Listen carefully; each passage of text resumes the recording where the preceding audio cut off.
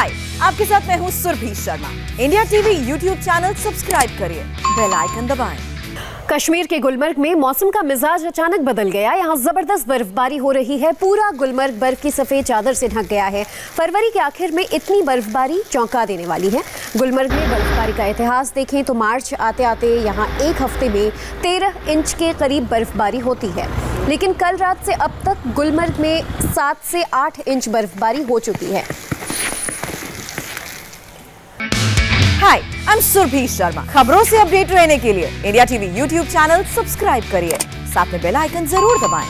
जुड़े रहें India TV के साथ।